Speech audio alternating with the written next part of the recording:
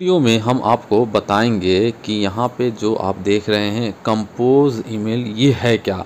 Actually में आप जब भी किसी को ईमेल भेजते हैं तो एक तो होता है सब्जेक्ट टू एक होता है सब्जेक्ट एक होता है कंपोज तो आप अभी तक कंपोज ईमेल देखते हैं, लेकिन समझ नहीं पाते हैं कि ये है क्या। तो फ्रॉम तो हमारा ईमेल आईडी हो गया टू जिसे हमें भेजना है, और सब्जेक्ट जिस मैटर पे भेजना है, उसका सब्जेक्ट लिखना है। और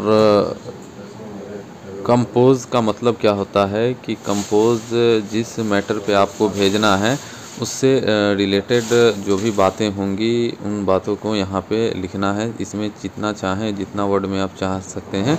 उतना वर्ड में आप लिख सकते हैं। दस, बीस, पचास, सौ, दो सौ, जितना वर्ड हो इसमें कोई लिमिटेशन नहीं है, उतना वर्ड में आप इसे, इसमें लिख सकते हैं। तो यही होता है कंपोज ईमेल जितना वर्ड हो, उतना वर्ड में आप इसे राइट कर सकते हैं और लिख सकते हैं। और इसके बाद अगर ये वीडियो आपको अच्छा लगे तो इस चैनल को सब्सक्राइब करें और इस वीडियो को लाइक करें ताकि इस तरह की और भी वीडियोज़ हम आप लोगों के लिए लेकर आते रहें। तो गैस फिर मिलते हैं नेक्स्ट वीडियो में। तब तक के लिए गैस बाबा टेक केयर।